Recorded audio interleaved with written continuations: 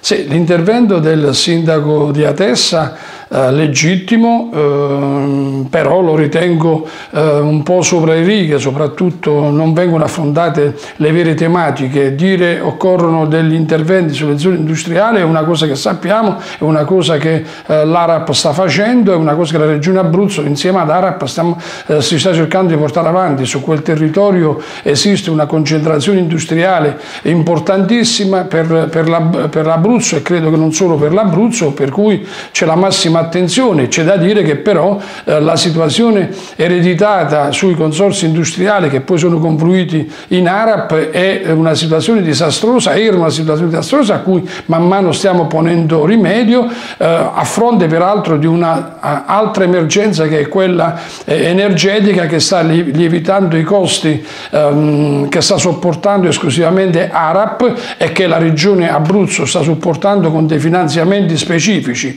su quel, su quel comprensorio, a giorni partiranno i lavori proprio in quell'incrocio specifico che va verso un'azienda eh, importante di, di, oltre 23, di 23 mila euro, ma soprattutto vorrei ricordare che nella programmazione eh, 14-20 eh, per eh, gli interventi del settore economico sia infrastrutturale, quindi consorsi di avviabilità, l'illuminazione e quant'altro, sia dal punto di vista economico non era stato previsto nulla eh, nel cosiddetto master plan che doveva essere la panacea di tutti i mali, nonostante qualcuno avesse a disposizione 750 milioni. Noi, programmazione eh, nuova, quella 21-27, che per effetto della pandemia eh, è diventata 23-27, stiamo mettendo solo per interventi di manutenzione, quindi sulla rete viaria, ehm, illuminazione, eh, le erbe e così, e così quant'altro, oltre 25 milioni di euro. Mi permetto di dire che eh, il comune di Atessa